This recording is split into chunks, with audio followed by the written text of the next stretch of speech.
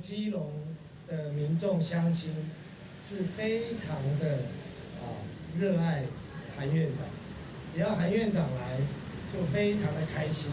啊，这个我们从昨天呃听说韩院长公布以后，就有很多的里长来跟我们接触，说韩院长所到之处，他们要来给韩院长欢呼加持。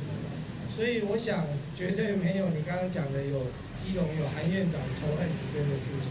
那基隆人对这几位所谓的霸韩式军姐根本不认识，没有任何的理解跟这个啊认识他们啊。所以我想，绝对没有你讲的这样子的情况。基隆人是装张开双手，张开双臂，竭诚欢迎韩院长到来，并且也不会增加任何仇恨子。